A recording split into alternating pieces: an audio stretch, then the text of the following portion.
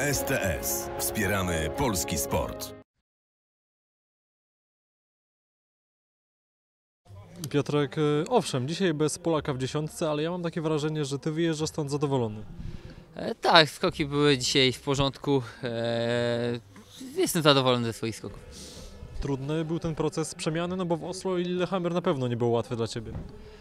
E, Znaczy, no ogólnie no, trzeba, trzeba jeszcze popracować w tym sezonie, a w Oslo i Lillehammer trochę, e, trochę chyba przespałem i to było nie do końca, nie do końca dobre, ale, ale no znowu tro, troszkę się wziąłem za troszkę e, lepszą pracę, bo, e, bo sezonu jeszcze tro, troszkę jeszcze kilka konkursów trzeba popracować.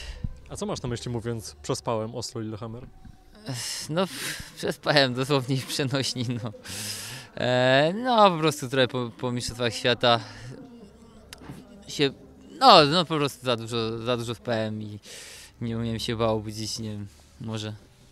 Takie rozprężenie tym ciepłem spowodowane? Gdzieś tam była taka myśl, że to już końcówka i może dlatego?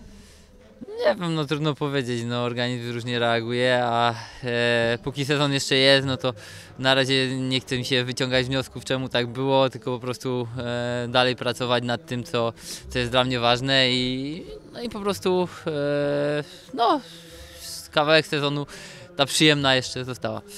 No właśnie, bo ty tutaj się przebudzasz przed tą e, częścią sezonu, która nam, kibicom, kojarzy się właśnie z Piotrem Żyłą, no bo skoczni do lotów. E, mi się akurat kojarzy z czymś fajnym, także, także no na pewno, na pewno też same, same skoki dobre się nie, nie zrobią, trzeba na nie, na nie jeszcze, jeszcze popracować i, i mam zamiar, mam zamiar pracować do końca e, tak umiem najlepiej. Jak zareagował trener na te twoje problemy tutaj na początku Row R? E, znaczy no to nie wiem, no, no to trener zawsze nas y, motywuje do, do pracy.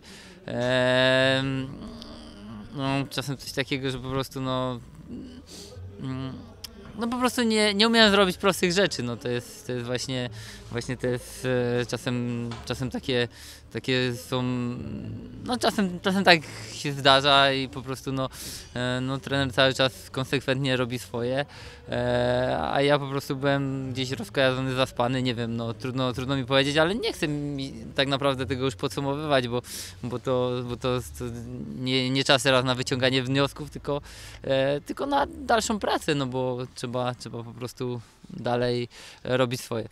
Właśnie ostatnie pytanie, zatem spójrzmy do przodu. Z e, Wikersund Planica skoczek ma jakieś takie swoje upodobanie, czy to wszystko zależy od formy, że wtedy skoczek nie gra roli, czy jednak jest tak, że jeden mamut inny od drugiego i któryś bardziej pasuje?